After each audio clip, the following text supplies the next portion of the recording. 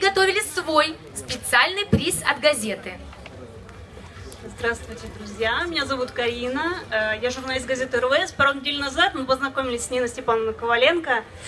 Э, Ее уникальная история послужила поводом для публикации в нашей газете. Но, как вы уже все поняли, у Нины Степановны день рождения 25 августа, и трое детей ее родились тоже 25 августа с разницей в несколько лет. Мы подали заявку в э, Книгу рекордов пока России, но еще и Гиннесса в том числе, но пока еще ждем ответа. И вот нам пришел ответ, что а, вы, а, Нина Степановна, вошли в эту книгу рекордов России, с чем мы вас, собственно, и поздравляем.